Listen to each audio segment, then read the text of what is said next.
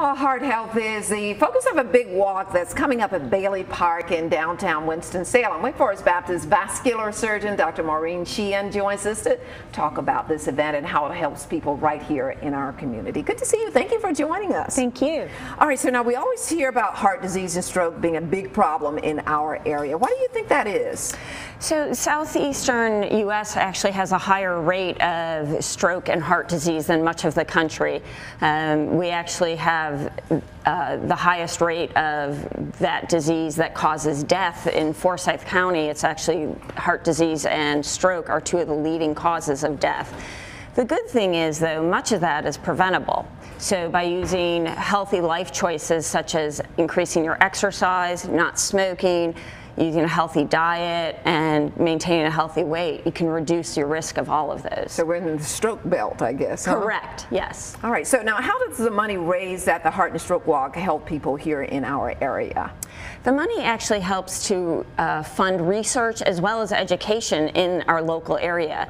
Wake Forest Baptist already has about $800,000 in grant um, research grant money from the American Heart Association, but this money helps to increase that so that we can do further research that allows us to come up with perhaps the next biggest, uh, you know, development in decreasing the risk of heart disease and stroke in, in our local community. Now, Wake Forest Baptist has supported the walk for many years now. Why are you so involved? I think, you know, the walk is a good sign of, of all the um, work that we do to promote healthy living in our community. So um, it allows people to get out, get moving, get exposed to to the increased activity. Um, and actually, this year, our CEO, Dr. Julie Freischlag, is the co-chair of the event, um, and Wake Forest Baptist in has over the last 16 years uh, supported teams in the walk to to promote this.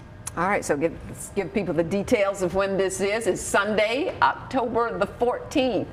And uh, check in at 1 o'clock, walks at 2.30, bring the family, the dog, ev- Yes. kids, everybody, right? Yes, exactly. There's variety of lengths, one, two, and four miles, so people can do whatever length they want. Fabulous. Thank you so much. We Thank appreciate you. it.